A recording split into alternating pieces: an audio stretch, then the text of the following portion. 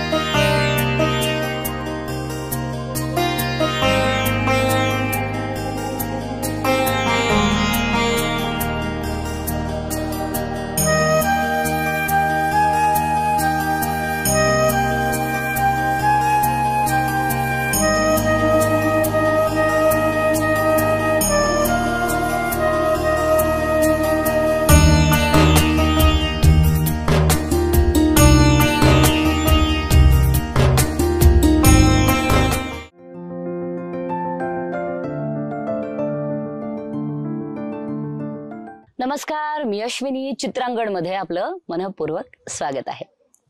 मंडळी राजकारण पोलीस आणि वकील या क्षेत्रामध्ये खरं तर महिला किंवा मुलींना जायला त्यांचं कुटुंबीय नकार देतं. किंवा हे क्षेत्र त्यांची कधीच प्रायोरिटी नसतं. पण जेव्हा एक महिला तिच्या सेकंड इनिंगमध्ये म्हणजे लग्नानंतर मुलांनंतर जेव्हा राजकारणासारख्या क्षेत्रामध्ये सक्रिय राहायचा प्रयत्न करते काहीतरी समाजासाठी करू इच्छिण्याचा प्रयत्न करते तेव्हा त्या बाईच्या वाट्याला डेफिनेटली खूप मोठा संघर्ष आलेला असतो. लोकांना कदाचित तो जाणवत नाही पण कुटुंबापासून समाजापर्यंतचा तिचा हा संघर्ष अनेक छोट्या मोठ्या गोष्टींनी बनलेला असतो. तिचा हाच संघर्ष जाणून घ्यायचा प्रयत्न आपण करतो आहोत. आणि आज आपल्यासोबत आहेत नागपूरच्या संगीता तलमलेजी. ताई आपल्या चित्रांगणमध्ये मनपूर्वक स्वागत आहे. ताई धन्यवाद. ताई तुम्ही नागपूरच्या? तर तुमचं लहानपण कसं गेलं? लहानपण खूप मी साधारण घरची मुलगी आहे एक बिलकुल मिडल क्लास घराण्यातलं आहे मी. आणि आई वडील आणि दोन तीन भावंड आम्ही दोन बहिणी. इतक्या चांगल्या आणि जपलं आईनी. आणि आई खूप स्ट्रिक होत्या आमच्या. तर खूप छान गेलं आमचं लहानपण. खूप प्रेमानं वाढलो आम्ही. आम म्हणजे आम आम्हाला कुठल्याच प्रकारचं रोकटोक होती नाही पण तरी पण एक मुलगी म्हणून सुरक्षा सुरक्षितेसाठी आईचं ते. वागणं किंवा इथं नको जाऊ इथं सेफ नाही आहे इथं नाही गेलं पाहिजे तिथं नाही गेलं पाहिजे. आणि कुठेही गेलं तरी माझ्यासोबत माझी काकी असायची. किंवा मोठी बहीण असायची सोबत कोणी ना कोणी आणि स्कूलमध्ये सगळ्या मैत्रिणी असायच्या खेळण्या कुदण्यात पण खूप रुची होती. मला पण माझे वडील पण इतके प्रेमळ हम्म. आई जरी स्ट्रिक असली तरी ते आईचं प्रेम होतं. मुलींसोबत वडील हा, असतात. प्रेमळ आणि बाबांचा स्वभाव खूप नेचर प्रेमळ होता. जरी आई रागवायची तर बाबा म्हणायचे की कशाला तिला एवढं हे करते रागवते? करू दे ना ती लहान आहे आता सध्या. म्हणजे असं बाबा आमचा कड घ्यायचे. आणि खूप छान आमचं बालपण गेलं. म्हणजे आणि जॉईंट फॅमिली होती हा. जॉईंट फॅमिली होती. म्हणजे तीन भावंड. तीन भाऊ असे भाऊ आणि दोन आम्ही बहिणी. मी तिसरा नंबर आणि माझ्यापेक्षा लहान एक बहीण आहे. संस्कार आम्हाला चांगले दिले गेले. आम्हाला चांगलं शिकवण आईने दिली. त्याच्यामुळे खूप छान आमचं बालपण गेलं. म्हणजे इतरांसारखंच मध्यमवर्गीय कुटुंबात जे काही. मुलीची काळजी घेतली जाते जे संस्कार तिला दिले जातात त्यात सगळ्या गोष्टी तुमच्या वाटायला आल्या. लग्नानंतर तुमच्या आयुष्यात एक फार मोठं वादळ आलं. म्हणजे तुमच्या दोन्ही मुलांच्या जन्मानंतर मला वाटतं धाकटा मुलगा तुमचा अगदी वर्ष दीड वर्षाचा होता. तेव्हा स्वाईन फ्लू मुळे तुमच्या पतीचा मृत्यू झाला. या वादळाला कशा सामोऱ्या गेलात? माझं तर तसं खूप मोठं संकट माझ्यावर कोसळलं होतं. माझं खूप कमी वयात लग्न झालं जसं मी अठरा वर्षाची होती. आणि माझी दोन मुलं खूप छोटे असताना त्यांना खूप मोठ्या आजाराने सामोरं जावं लागलं. भरपूर दिवस ते त्या आजाराने घेरले होते. आणि स्वाईन फ्लू कसा नवीन असल्यामुळे ते त्याची जाणीव नव्हती. ते मेडिकलमध्येच त्याचा इलाज होता. मेडिकल एशियाचंच खूप मोठं हॉस्पिटल आहे आमच्या नागपूरला. त्या नागपूरमध्येच त्याचा इलाज होता. कारण प्रायव्हेट हॉस्पिटलमध्ये त्याचा इलाज नसल्यामुळे आम्ही त्या ना मेडिकलमध्ये कंटिन्यू दहा दिवस अकरा दिवस होती. तसं तर पाच सहा दिवसापासून त्यांना रोज हॉस्पिटलमध्ये नेणं आणणं सुरू होतं. पण डॉक्टरांनी असं काही सांगितलं नाही की यांना स्वाईन फ्लू आजार झालेला आहे किंवा यांना ऍडमिट करावं लागते. ते बरेच नाही सांगितल्यामुळे तो आजार जास्त प्रमाणात वाढत गेला. आणि त्याचा कसा इलाज झाला नाही आणि त्याच्यामुळे त्यांना त्या मेडिकल हॉस्पिटलला ॲडमिट करण्यात आलं. आणि अकरा दिवस मला त्या हॉस्पिटलमध्ये राहावं लागलं आणि ते एक दिवस ऑक्सिजनवर राहून मग ते त्यांना लगेच दुसऱ्या दिवशी व्हेंटिलेटर लागलं. मला दहा दिवस बरेच कठीणाईचा सामना करावा लागला तिथे. जरी एशियाचं मोठं हॉस्पिटल असलं तरी पण तिथे महिलांसाठी सुविधा नाही आहे तिथे बरेचसे लोक येऊन चुकीच्या नजरेनं बघायचे. रात्रीच्या वेळेस. मी हा. सिक्युरिटी नाही आहे तर अशा बऱ्याचशा घटना माझ्या आणि ते डोंगर माझ्यावर खूप मोठं कोसळलं म्हणावं लागेल. कारण माझे द- दोन मुलं छोटे असताना मी हाऊस वाईफ असताना एवढं मोठा डोंगर माझ्यावर सो कोसळला आणि परत मला दोन मुलांचा विचार कर- करून आणि बरेचसे दिवस तर मी खूप. सदम्यात होती. डिप्रेशनमध्ये होती बरेचसे दिवस. तरी पण भरपूर लोकांचा आईचा वडिलांचा किंवा माझ्या नंदा जावा सगळ्यांनी मला सांभाळलं. त्याच्यातून मला काढलं आणि मुलं छोटे असताना त्यांना पण एक वडिलांचा साया म्हणून खूप मोठं त्यांना पण दुःख झालं. आणि माझा मोठा मुलगा पण पाचवी सहावीत असताना त्याला पण खूप मोठा धक्का बसला की बाबा वडील गेले. तर बरेचसे प्रश्न माझ्यावर उद्भवत होते माझ्यासमोर का मी कशी काय करणार? जरी कुटुंब सोबत असलं तरी नवऱ्याचा सपोर्ट. खूप मोठा असतो. तर त्याच्यामुळे आपण त्यांना पाहून आलेलो असतं सगळं सोडून. तर तोच आधार आपल्याकडून सोडून गेला. तर खूप मोठं माझ्यासोबत दुर्दैवानं खूप मोठी घटना ही माझ्यासोबत घडली. आणि ते घडल्यानंतर सपोर्ट म्हणून जरी त्यांचा मुलगा गेला होता त्यांना पण वेदना झाल्या त्यांनाही त्रास झाला आई झाली बहीण झाली. बरेचसे लोक असं त्यांना पण सामना करावा लागला. त्यांना वाटलं की बा भाऊच गेला तर मग काय मी तर परक्याच घरची होती ना. तरी पण मी हिंमत बांधून मी पोरांना शिक्षण केलं. मी त्यांचा बिझनेस सांभाळला. बाय नेचर साहेबांचं खूप चांगलं होतं. सासरे पण चांगले बिझनेसमॅन होते. साहेब पण बिझनेसमॅन होते. त्याच्यामुळे मला त्या लोकांचा खूप सपोर्ट मिळाला. कारण बरे चुकीचे लोक माझ्यापर्यंत आले नाही. तर त्या लोकांचा बऱ्याचशा लोकांचा मला सपोर्ट मिळाला. आणि असं करत गेले दिवस निघत गेले मुलं वाढत गेले. आणि खूप चांगलं आई वडिलांचं प्रेम सुद्धा आम्ही त्यांना वडिलांचं कमी होऊन आज तुमच्या मुलांचे वडील गेले म्हटलं होतं आई आणि वडील अशा दोन्ही भूमिका तुम्ही पार पाडल्या. खरं तर मोर पॉवर टू यू संगीताताई अं, खरं तर तुमच्या सासरी पण समाजसेवेचं एक बॅकग्राऊंड आहे असं मी ऐकलं.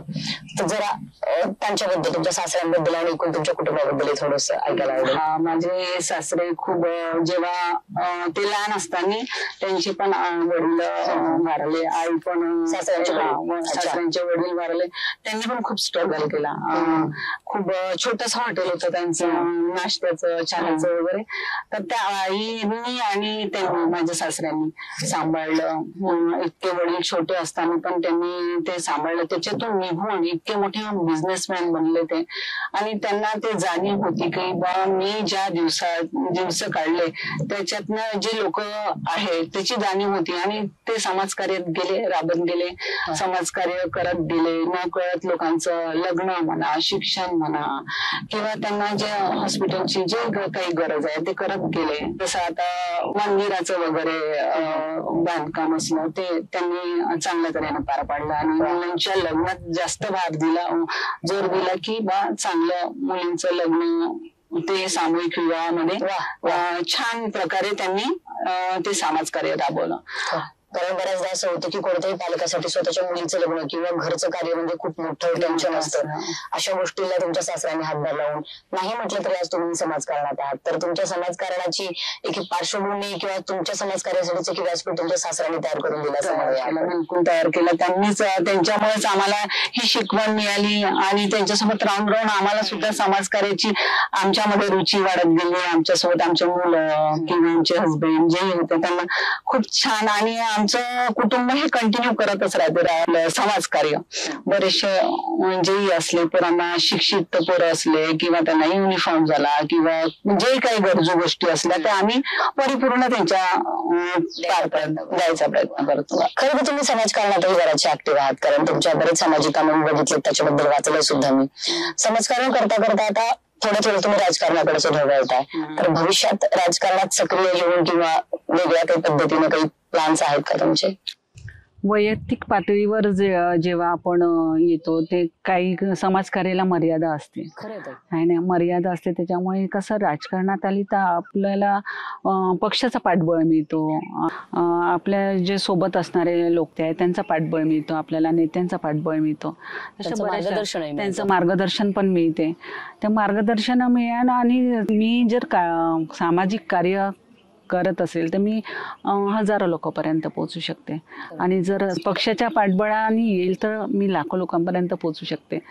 तर अशा माध्यमातून मला वाटते की बा पक्षाचा सपोर्ट असणं आवश्यक आहे. हे पटलं मला. तुमची राजकीय विचारधारा कोणती? लहानपणापासून आपण बघत असतो माझ्या आई वडिलांकडे तोच काँग्रेस. काँग्रेस सासरे सुद्धा कट्टर काँग्रेसी होते माझ्या आणि आम्ही जर जायचं आमच्या लग्नानंतर आम्ही वोटिंग करायला जातो आमचे सासरे हेच म्हणायचे तुम्ही काँग्रेसलाच वोट द्यायचा. काँग्रेसला शिवाय दुसऱ्या कोणत्याही पक्षाला वोट द्यायचं नाही तुम्ही. तर आमचं एक ते होतं आणि काँग्रेस पक्ष असा आहे की महिलाला आदराने पूजला जातो किंवा आदराने बोलला जातो. तिथे एक सन्मान असतो त्या काँग्रेस पार्टीमध्ये. आणि संधी मिळते. आता तुम्ही बघू शकता राहुल राजूजी गांधी होते. त्यांनी पन्नास टक्के आरक्षण महिलाला महानगरपालिकेमध्ये दिलं होतं. आणि जे महिलांचा आदर केला जातो त्या पक्षात का नाही जुळलं पाहिजे? ना माझं मत आहे असं होतं की मी मला तो एक आवडता एक पक्ष आहे माझा की जिथं मा लेडीजचा मानसन्मान होतो सण महिलांचा मानसन्मान होतो तिथं जुळणं मला योग्य वाटलं. राजकारणाबद्दल बोलतोच आहे खरं तर. मग आता आहात तुम्ही काँग्रेसमध्ये तुमचा आवडता नेता कोण? माझे राष्ट्रीय लेवलचे नेते आहे राहुलजी गांधी. खूप खूप प्रिय आहे मला ती आणि खूप म्हणजे इतकं राजघराण्यातलं असून सुद्धा इतक्या छोट्या पातळीवर काम करतात ते खूप एक माझ्यासाठी खूप छान एक वा.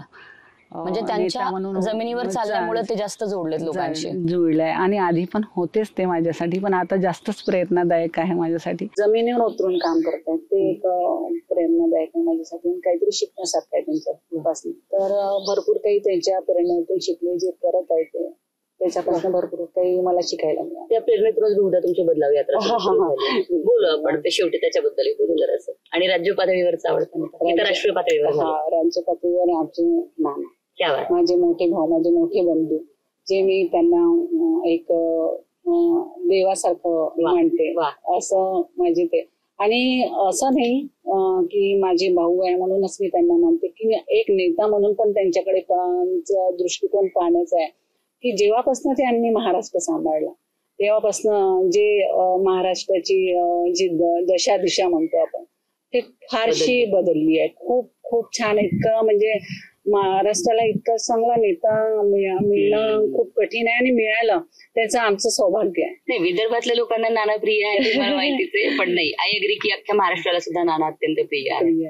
कारण आताची त्यांची कार्य काम करण्याची पद्धती असेल धडाकेबाज त्यांची वृत्ती असेल अगदी बिंदास त्यांचे स्टेटमेंट असतील अं, कोणताही आडपडदा न ठेवता किंवा कोणताही मुखवटा न लावता नाना ज्या पद्धतीने आता अनेक गोष्टींवर भाष्य करतात तर कुठेतरी ते पटतं कारण भूमिका न घेण्यापेक्षा भूमिका योग्य किंवा योग्य हे नंतर ठरवता येईल पण. भूमिका घेणं खूप महत्वाचं असतं. आता तुम्ही समाजकारणात आहात खरं तर तुम्ही. हाऊस वाईफ म्हणजे. गृहिणी म्हणून काम केलं तुमच्या नवऱ्याच्या मृत्यूनंतर तुम्ही तुमचा बिझनेस सांभाळला सगळं केलं पण मग राजकारणात यावं हे का वाटलं? कारण समाजकारण तर तुम्ही करत होता. राजकारणात यावं असं वाटलं की बा जे मी समाजकार्य करत आहे राजकारण आणि समाजकारण हे फारसं काही दूर दुरावलेलं नाही आहे आणि रा समाजकार्य करतच आहे. मी राजकारणात असं यावंसं वाटलं मला की बाबा जे आता लोक मूल्य जे महिलांवर अत्याचार होत आहे ज्या घटना देशात घडत आहे किंवा राज्यात किंवा नागपुरात घ घडत आहे त्या घटने सगळीचकडे ज्या घटना घड घडत आहे आणि बऱ्याचशा महिला बघा तुम्ही कमी शिकलेल्या असून सुद्धा त्यांच्या घरच्या लोकांना बाहेर निघायची बाहेर नाही निघू देत. तर मला असं वाटतं की प्रत्येक महिला ही घराच्या बाहेर निघून नाही निघाली तरी ती आपल्या पायावर उभी झाली पाहिजे. असं माझं मत होतं. म्हणून मी राजकारणात आली. आणि महिला सक्षम झाली पाहिजे. ती आपल्या पायावर उभी झाली. पाहिजे. यासाठी मला राजकारणात यावं असं वाटलं. असं ताई आता मी थोड्याच वेळापूर्वी तुम्हाला सांगितलं राजकारण आणि समाजकारण हे काही वेगळं नाही आहे. तरी पण राज समाजकार्यात काही मर्यादा असते. आणि राजकारणात कसं आपल्याला पावर असते की बा आपण काही आपण त्यांच्यासाठी स्टेप घेऊ शकतो किंवा आपण काही निर्णय घेऊ शकतो त्याच्यात. एक पक्षाचा पण सपोर्ट असतो. त्याच्यामुळे आप- असं वाटलं की बा राजकारणात आलं पाहिजे. आणि कोणतीही स्टेप घ्यायचं असलं तर एक राजकारणात येणं अत्यंत आवश्यक आहे असं वाटलं म्हणून मी राजकारणात आली.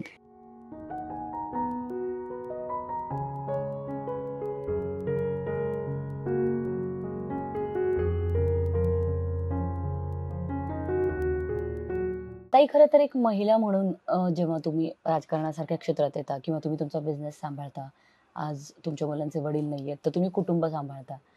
तर हे सगळं सांभाळताना एक हाती जेव्हा आपण हे सगळं सांभाळतो तर महिला म्हणून खरंच काही अडचणी येतात का? अडचणी तर भरपूर येतात कारण कुटुंबाला सांभाळावं लागतं. पहिले तर कुटुंबाला प्राधान्य द्यावं लागतं. आणि परत मुलांची जबाबदारी बिझनेस होता त्याच्यामुळे या याच्यातून सगळ्यातून निघणं खूप अवघड होतं माझ्यासाठी. पण मी एक माझ्यात ध्येय होता की मला करायचं आहे महिलांसाठी काहीतरी तर त्याच्यामुळे मी माझ्या पोरांचाही मला साथ होता माझ्या सोबतच्या लोकांचाही मला साथ होता. नानांचा पण खूप सपोर्ट मला होता. माझे आमचे शहर अध्यक्ष आहे विकास ठाकरेजी. त्यांचाही भरपूर मला साथ मिळाला सपोर्ट. मिळाला. ते पण मला बहिणीसारखं मांडतात आणि मी पण त्यांना मोठ्या भावासारखं. तर ते मला नेहमी हे दोघं माझ्यासाठी प्रेरणास्थळ झाले. पण तुम्ही तुमचा बिझनेस सांभाळला सगळं सांभाळला. तर असं असं कधी झालंय का की आपण एक महिला आहोत? एकट्या पडलोय नवरा नाहीये सोबत अशा वेळेला कधी थोडस वाईट वाटलंय किंवा. काय तर कसं जोडीदार जर आपला साथी जर जातो ते तर एक पूर्ती कोणी कमी खरंच आहे, करू आहे. नाही शकत ते खरं ते ते तर जाणवलं. ते नेहमीसाठी राहीलच माझ्या मनात. आणि ते पूर्णता कोणी करू शकत नाही. नवरा एक असं मित्रासारखा असतो. एक सगळं जाणून घेतो सगळं सुख दुःख आपण नवऱ्याजवळ सांगतो. तर ते पूर्ती तर कोणी करू शकत नाही. पण बा बाकीचे बिझनेस पण चांगल्या तऱ्हेने मी सांभाळला. आणि मला बाजूच्या जे व्यापारी लोक होते त्यांचा खूप साथ मिळाला मला. त्यांनी मुलीसारखं एका वहिनीसारखं अशा दृष्टिकोनातून त्यांनी मला कोणतेही प्रॉब्लेम आले तर माझ्यासाठी धावून आले ते. तर त्या लोकांनी मला खूप साथ दिली. तर. त्या लोकांना खरंच एक स्तुतीलायक मा म्हणजे माझ्या जीवनात एक खूप चांगल्याही घटना घडल्या आणि एक खूप मो मोठी वाईट घटनाही घडली. त्याचा सामना करून ज्या लोकांचा मला साथ मिळाला त्यांचा साथ म्हणा किंवा माझ्या पोरांचा सपोर्ट माझ्यासोबतचे जे लोक कामं करतात त्यांचा सपोर्ट खूप मिळाला. त्याच्यामुळे मला. छान. हे खूप महत्वाचं होतं माझ्यासाठी. तर त्याचा मला याच्यामुळे मला धाडस येऊन गेले हिंमत आली आणि सामोर वाढत. वा वा वा. मी तुम्हाला हेच विचारणार होते माझा पुढचा प्रश्न हाच होता की जेव्हा एखादी बाई राजकारणात इस्पेशली इस्पेशली राजकारणासारख्या क्षेत्रामध्ये उभं राहायचा प्रयत्न करते तेव्हा अनेक हात असतात प्रत्यक्ष अप्रत्यक्षरित्या अनेक हात तिला मदत करत असतात. अनेक हात तिचं पाठबळ वाढवत असतात अनेक हात तिच्या पाठीशी खमक्यापणाने उभे राहत असतात.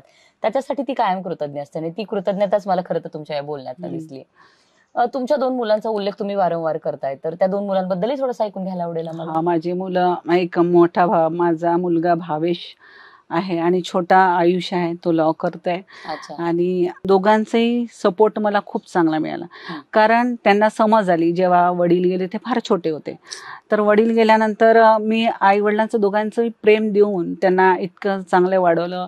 काही गोष्टीत म्हणजे मी त्यांच्यासोबत मैत्रीण पण बनून राहिली एक आई पण बनून राहिली एक वडील पण बनून राहिले. सगळ्या गोष्टी म्हणजे त्यांचा कोणत्याच गोष्टीची कम कमतरता केली नाही. आणि मी खूप फ्रँकली राहिली. माझी पोरं माझ्यासोबत छान वागले. त्यांना जे संस्कार मी दिले. आणि वडिलांचा साथ निघाल्यावर मुलांना कठीण असतं जपणं. कारण त्या कोणत्या व्यसनात गेले नाही पाहिजे.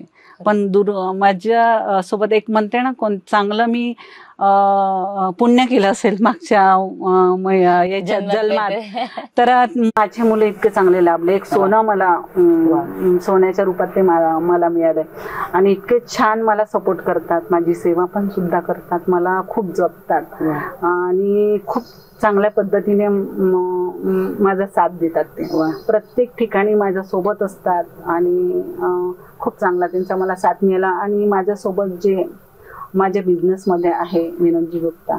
त्यांनी सुद्धा मला खूप चांगला सपोर्ट केला. त्यांच्या आईनी सुद्धा मला खूप चांगला सपोर्ट केला.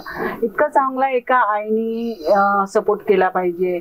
एक म्हणजे नवऱ्या गेल्यानंतर जे प्रत्येक कठीणाईचा आपल्याला सामना करावा लागतो. आयुष्य अं, माझं एका क्षणात आयुष्यही बदललं. आणि ज्या लोकांचा मला साथ मिळाला ते भरपूर लोक म्हणजे म्हणते ना काहीतरी पुण्याई असेल तर देवाने मला कोणासमोर असं हे नाही पडू दिलं. की बा तुम्हाला हा. कायमपणे ठाम उभी राहिली. त्यांनी माझा मनोबल वाढवला. विनोद गुप्तांनी मला खूप साथ दिला त्यांची आई गेल्यानंतर त्यांची आई पण पॉलिटिक्समध्ये होती. हो हो आणि त्यांची आई पॉलिटिक्समध्ये असल्यामुळे त्यांना पण खूप काही हे होतं. बरेचसे काही घटना अशा घडल्या की बा मला समोर जावं लागलं. पण त्याची आई माझ्यासोबत असल्यामुळे हो. मला खूप हिंमत मिळाली. एक महिलाचा सपोर्ट मला मिळाला. जेव्हा जेव्हा नवऱ्याची साथ सुटल्यानंतर एक महिलाचा साथ मला जेव्हा मिळाला त्या मी मी खूप खंबीरपणे कंबरेला पदर खोचून निघाली बाहेर आणि अं, खूप ठामपणे मी माझ्या दोन मुलाकडून पाहून बाहेर निघाली. आणि त्यांनी पण मला खूप साथ दिला. माझ्या बिझनेसमध्ये पण खूप साथ दिला. आणि एक मोठ्या भावाप्रमाणे माझ्या मुलांना त्या- त्यांनी सांभाळलं. कोणत्याच व्यसनात जाऊ नाही दिलं. परत त्याच्या एका म्हणजे कसा मोठा भाऊ कसा जपतो एक छोट्या भावांना तसा भावंडाला त्यांनी जपला. आणि खूप छान मी त्याचा आभार मानते आणि कितीही त्याचं कौतुक करेन तर ते शब्दात सांगणं अगदी अशक्य आहे. क्या बात आहे क्या बात आहे छान चला. ही सगळी माणसं खरं तर आपली श्रीमंती असते. बरोबर. म्हणजे कारण आपला पैसा कधी आमच्या ग्रामीण भागात असं म्हटलं जातं ते की तुम्ही अंथरुणावर पडला तर तुमच्याकडे किती जरी पैसा असेल तर तो पैसा येऊन तुम्हाला पाणी पाजवणार त्यामुळे ही माणसंच असतात जी तुम्ही प्रेमाने जपलेली असतात. फार जेव्हा भावाची माणसं असतात ही. या माणसांना जपणं हीच खरी आपली श्रीमंती असते. कारण हीच माणसं आपल्या भल्याबुऱ्या प्रसंगामध्ये आपल्या पाठीशी उभे राहत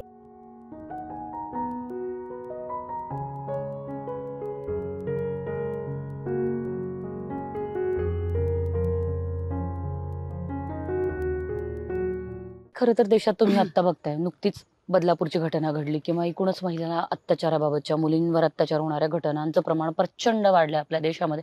देशात वाढले महाराष्ट्रात नाही देशात वाढले. तर राजकारणातली एक महिला म्हणून समाजकारणातली एक महिला म्हणून तुम्हाला या घटनांबद्दल काय वाटतंय? खूपच दुर्दैवाची गोष्ट आहे की ती बदलापूरमध्ये आता जी घटना घडली आणि ही घटना हीच नाही घडली अजून तरी बऱ्याचशा घटना अशा घडल्या. आणि कोणीही असो तो त्याला फाशी झालीच पाहिजे. खरंय. खरंय ताई अगदीच खरंय तुम्ही समाजकारणात सक्रिय आहात राजकारणातही सक्रिय आहात बऱ्यापैकी. उद्या पक्षाने जर तुम्हाला चांगली संधी दिली आणि तुम्ही निवडून आलात. तर तुम्ही राजकारणात इस्पेशली नागपूरकरांसाठी कोण कोणत्या विषयांवर काम कराल? नक्कीच. जर पक्षाने माझ्यावर विश्वास ठेवला तर नक्कीच मी याच्यावर चांगल्या अर्थाने खरी उतरी. नागपुरात भरपूरशा अशा समस्या आहेत ज्या डम्पिंग यार्ड आहे. इतक्या वर्षापासून घाण पूर्व पूर्ण नागपूरचा कचरा तिथं साचलेला असतो. तर ते साचलेला कचऱ्याचं डम्पिंग याचं आता बघू शकता कंटिन्यू पाऊस होता. तो पाऊस पावसाचं पाणी त्याचे सुरक्षित दिवार डम्पिंग याची सुरक्षित दिवार तुटून त्यांच्या लोकांच्या घरात पाणी शिरलं. मी तेवढ्या पाण्यात त्यांच्याकडे जाऊन भेट दिली. कपडे वगैरे सगळे वाहून गेले होते. तर मी त्यांची खाण्यापाण्याची सोय सुद्धा केली. असं आणि बघू शकता तुम्ही तिथे अजून हॉस्पिटल सुद्धा व्यवस्थित आहे नाही. तिथे आता सिम्बॉयसिस कॉलेज आणलाय बीजेपी सरकारने ते आता काहीतरी एक रुपया- एक रुपया लीजवर त्यांना दिलाय. ती सरकारची जागा सरकारी याच्यावर सरकारी काहीतरी प्रोजेक्ट आणून तिथं काहीतरी होऊ शकत होतं चांगलं. पण त्यांनी प्रायव्हेट कॉलेज आणून सुद्धा नागपूरकरांना काही सुविधा तिथं मिळालेली नाही अजूनपर्यंत. बऱ्याचशा अशा समस्या आहे की जे शहर लाईन आहे गडर लाईनचा प्रॉब्लेम आहे भरपूरशा अशा समस्या आहे. त्या सुधारण्याचा मी प्रयत्न करीन. आणि बघू शकता तुम्ही आता म्हणता स्मार्ट सिटी झाली आहे. हो. आता तुम्ही आलेच असताना आमच्या नागपूरला ना कितीतरी नाही. तुम्हाला त्या गड्ड्याचा सामना करावा लागला असेल. नाही मला कुठूनच एखाद्या खेड्यात मी फिरते असं वाटलं काही. भागांमध्ये नागपूरच्या. आहेच ताई. आणि तुम्ही माझ्यासोबत पण चला आणि मी तुम्हाला दाखवून देता. असं वाटते का ग्रामीणपेक्षाही बत्तरतेची हालत झालेली आहे. वाटत नाही कुठेही स्मार्ट सिटी झालेली आहे म्हणून. तर या बाबतीत या सगळ्या संदर्भात मी नक्कीच तिथे काम करीन. शिक्षण म्हणा बरोबर भरपूरच्या जे सरकारी स्कूल आहे त्या सुद्धा यांनी बंद करून ठेवलेल्या आहे तर साधारण लोक कुठे जातील? तर या मुद्द्यावर नक्कीच मी काम करेन. क्या बात आहे क्या बात आहे मला वाटतं तुमच्याकडे नागपूरला एशियातलं सगळ्यात मोठं हॉस्पिटल आहे गव्हर्नमेंट हॉस्पिटल की असं काहीतरी आहे? मेडिकल हॉस्पिटल आहे. तर त्याची अवस्था काय आहे? मेडिकल हॉस्पिटलची अवस्था अशी आहे की ते एशियाचं सगळ्यात मोठं हॉस्पिटल आहे हॉस्पिटल असून सुद्धा आता तुम्ही बघू शकता याच्या आधी मी सांगितलं माझे हस्बंड सुद्धा तिथे ऍडमिट हो, होते तिथेच होते का? हा तिथेच. ऍडमिट असल्यामुळे तिथे महिलांसाठी काही सुरक्षा सुरक्षा नाहीये. कुठेच ती व्यवस्थित स्वतःला सेफ म्हणून तिथे राहू शकत नाही किंवा तिचे कोणीही नातलग म्हणा तिथे ऍडमिट असले तर महिलांची सिक्युरिटी. काहीच नाही. काहीच नाही. बरंचसं दूर आहे तिथे. एक एक किलोमीटर धावून धावून जावं लागतं. औषध सुद्धा बाहेर जाऊन घ्यावं लागतं तिथं.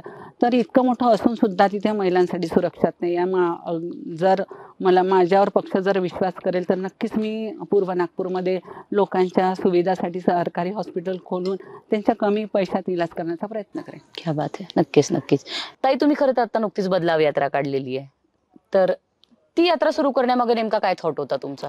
माझं हेच थॉट होता की बा आता तुम्ही बघू शकता. गड्डे तर आहेच हे समस्याच आहे. डम्पिंग यार्डची समस्या आहे. ही सरकार आल्यापासून महागाई सुद्धा खूप प्रमाणात वाढलेली आहे. खूप प्रमाणात वाढली आहे. लोक चिडून गेले. लाइट बिल सुद्धा इतकं येतं. खूप सुद्धा आता मी प्रत्येक लोकांपर्यंत जाऊन भेटून राहिली आहे. प्रत्येक लोक हेच म्हणत आहे की महागाई वाढलेली आहे. शिक्षामध्ये आम्हाला काहीच हे नाही आहे. भरपूरशी फीस पण वाढली आहे. यांनी सरकारी स्कूले सुद्धा बंद करून टाकल्या. आमच्या पुराणा सुखसुविधा काहीच नाही आहे तिथे. आणि काय म्हणते महागाई तर आहेच.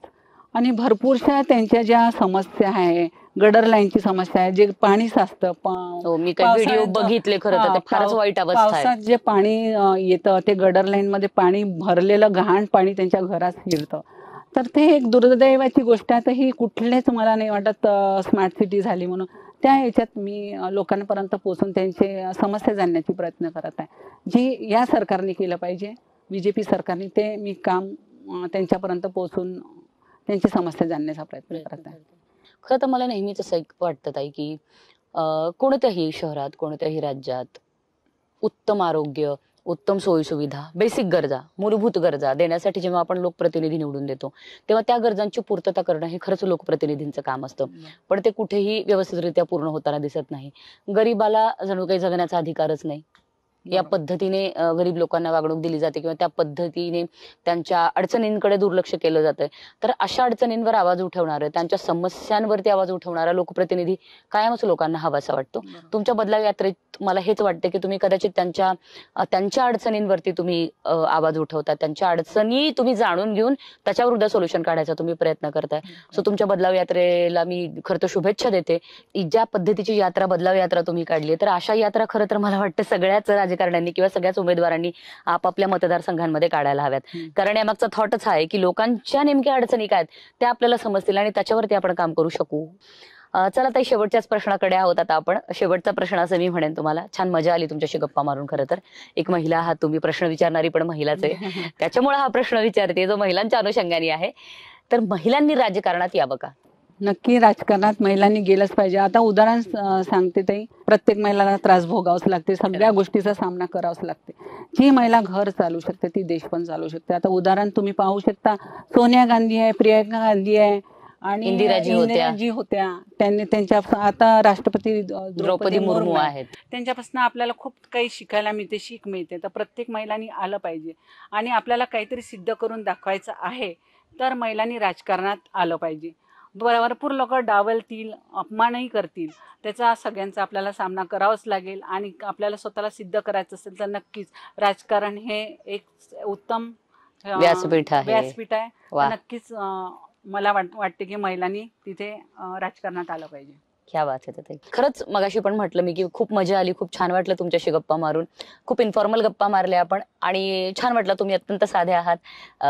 बदलाव यात्रेच्या निमित्तानं लोकांचे प्रश्न जाणून घेताय. सो चित्रांगणच्या संपूर्ण परिवाराकडनं तुम्हाला आभाळभर शुभेच्छा. थँक्यू सो मच मंडळी तुम्ही मात्र अजून कुठेही जाऊ नका. जर अजूनही चित्रांगण हे चॅनल सबस्क्राईब केलं नसेल तर सगळ्यात आधी चॅनल सबस्क्राईब करा. Till then stay connected with Chitrangan. Thank you so much